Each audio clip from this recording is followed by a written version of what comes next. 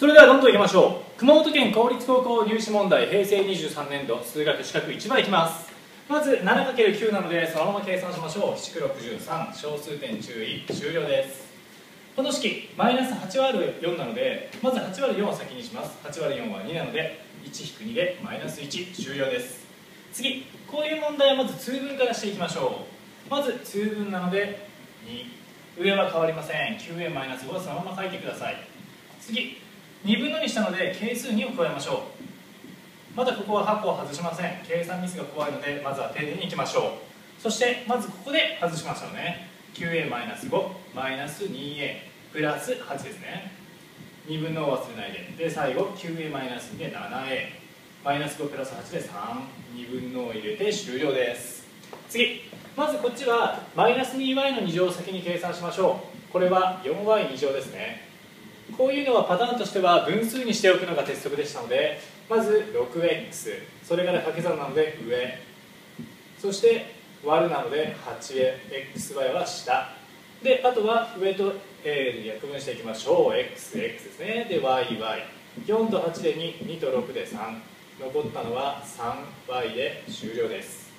次。ちょっとこれ長くなるのでしていきましょう。まず2乗するとまず 9a2 乗 2×3a マイナス b なのでマイナス 6ab でプラス b の2乗。それから後ろちょっと丁寧にいきましょうか。まず 7a の2乗。でマイナス ab プラス 7ab で最後マイナス b の2乗。この場合はもう括弧外してしまっても大丈夫ですが、まあ、丁寧にいきましょう。計算ミスが怖いのでね。で最後に 9a2 乗とプラス 7a2 乗 16a2 乗。マイナス 6ab ここはプラス 6ab ですね。マイナス ab プラス 7ab なのでプラス 6ab マイナス 6b なので消えます。プラス b の2乗とマイナス b の2乗なのでここも実は消えてしまうんですね。16a の2乗で終了でした。次。8個6番。ちょっとテクニックというかですね視点を気をつけてください。10と6があります。5と3があります。ちょうど2倍ですよね。まずカップの中をルート2でくくってしまいましょう。ルート2でくくると何ができるか。ルート5マイナスルート3ができてしまいます。